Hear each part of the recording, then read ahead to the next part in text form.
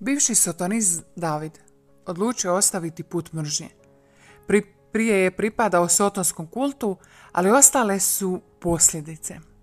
Počeo se sada družiti sa svećenicima egzorcistima, koji su nad njim molili sve kako bi se oslobodio demona koje je naukao na sebe. David je otkrio da je hrabro pokušavao otići na svetu misu. On kaže, tad je krenula bitka. Otići na misu za mene je bio toliki problem da sam uspio otići svega samo na jednu misu mjesečno. Također, ona misli nije mogla odgovarati na molitve kao ostali vjernici. A kipovi svete slike, sve to u njemu izazivalo veliko mučenje. Hladna sveta voda peče opsjednute, a kad gleda u raspelo, njihove oči kao da su na vatri. No, David je otkrio vjernicima molitvu na koju demoni vrište. Kad se izgovara molita svetog Mihovila, David je rekao da tada čuje demone kako vrište. To je tako užasno, zastrašujuće bolno. Ta molitva im zadaje veliku bol i muku. Takva molitva tlači demone i pomažu u njihovom istjerivanju. Ova molitva zlim duhovima uzrokuje jaku bol, tako da je nama poticaj za moliti je svaki dan. Sve ovo otkrio je poznati svećenik i egzorcist Steven Rosetti. A molitva svetom Mihajlo Arkanđelu nastala je na temelju strašne vizije koju imao papa. Ova molitva nastala kao izvarena intervencija Božja. 1884. u Vatikanu u privatnoj kapelici pape Leona VIII. dogodilo se mistično iskustvo. Nakon što je papa završio misu, ostao u kapelici da prisustuje još jednoj misi. Na kraju te svete mise okupljeni su opazili kako je papa odjednom podigao glavu, nepomično gledao prema oltaru iznad tabernakula. Papa je problijedio, ustao i požurio prema svojoj radnoj sobi.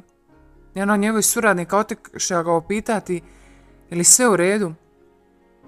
Izgleda tumorno oče, trebate li nešto? No on je rekao ne trebam ništa. Ostao je u svojoj radnoj sobi i zatvorio se, a nakon pola sata pozvao je tajnika, kongregacije za obrade. Pružio mu list papira te mu rekao da taj napisani tekst otisne. Pošalje biskupima širom svijeta. Na tom papiru bijaše ova molitva sveto Mihajlo Arkanđela koje papa osobno sastavio i zahtjevao je da je svi svećenici sa svojim vjernicima mole nakon svake svete mise. Molitva zapisana na tom papiru bila je duža i drugačija od one skraćene verzije koju danas molimo. Stoga vam donosimo izvornu molitvu svetog Mihajla. Molimo je svakodnevno, obzirom na veliku prisutnost zla u svijetu nad crkvom. Podigni bolno raspelo koji sam ti dao protiv sila tame iz molo u molitu sa znakom križa. Učini ovo im oca, sina i duha svetoga, pobjedit ćeš. Reci u molitu svaki dan jer velik je boj. O slavni kneže nebeskih vojska, sveti Mihajl Arkanđele, brani nas u kušnji i užasnom boju protiv vrhovništava i vlasti, protiv zlih duhova, priteci u pomoć čovjeku, kojeg je svemogući Bog stvorio besmrtnim na svoju sliku i priliku i otkupio sotonske tiranije uz visoku cijenu. Vodi danas boj gospodnji zajedno sa svetim anđelima kao što si već pobjedio vođu oholih anđela, Lucifera i njegove otpadničke čete, koje su bile nemoćne da odole tebi. Niti je više bilo mjesta za njih na nebu. To okrutna stara zmija, pa se naziva Džavo ili Sotona, koji zavidi cijelom svijet bačena u sa svojim anđelima. Čuvaj se, ovaj stari neprijatelj, bojica, hrabrio se, jer obrazio su anđela svjetla, radoznalno obilazi svijetom, sa svim nošom zli duhova koji su nagrnuli na zemlju da unište bez straga ime Božje, njegova Krista, da porobe, baci u prokledstvo duše, kojima je namijenjena kruna vječne slave, Ovaj opaki zma izljeva otrovna ljude, izopačena uma i pokvarena srca, duha laži, bezbožnosti, huljenja i kužnja daha, svakog poroka i nemorala. Ovi vrlo lukavi neprijatelji ispunili su i opali crku sa žuči gorčinom, zaručnicu neokaljanog jaganca i položili bezbožne ruke na njezine najsvetije posjede.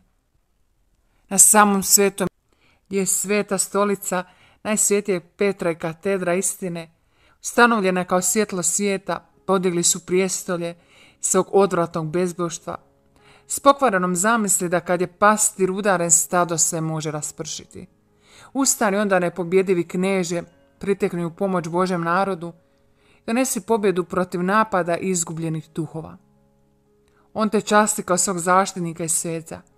U tvoj svetoj slavi crkve, kao njezinu obranu protiv podmuklih sila pakla, tebi je Bog povjeruje duše ljudi da budu uvedene u nebesko blaženstvo. Moli se Bogu mira da bi on onemogućio Sotonu, da nas dalje drži u ropstvu i škodi crkvi. Prikaži naše molitve pred previšnim Bogom, tako da bi one što prije zadobile milost pred licem gospodina, sladanjem zmaja, stare zmije, koja je đavo ili Sotona. Opet ga učini zarobljenikom bezdana, kako više ne bi zavodio narod. Amen. A ovako je skraćena verzija.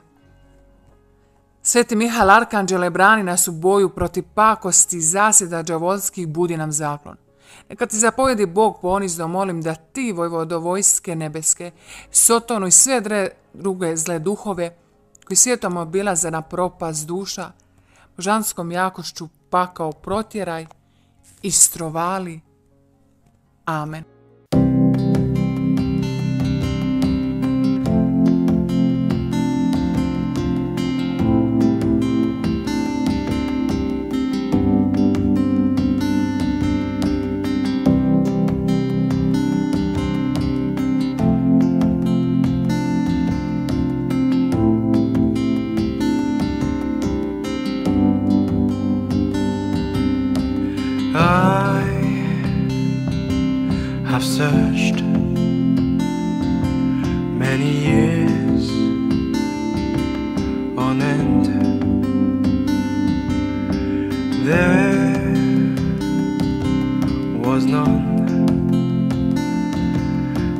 My soul could depend. My soul cries out for your presence in here. This very hour, for your presence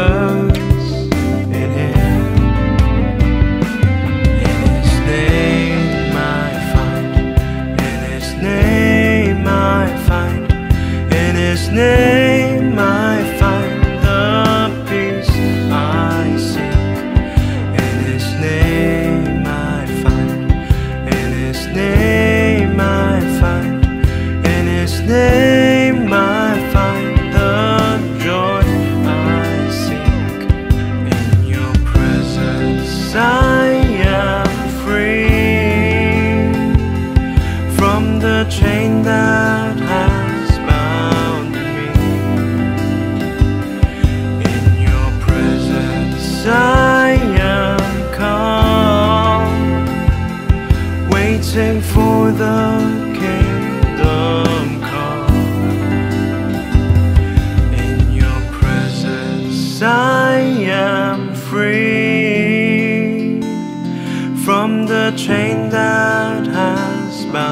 around me. In your presence, I am calm, waiting for the kingdom come. In His name, I find. In His name, I find. In His name.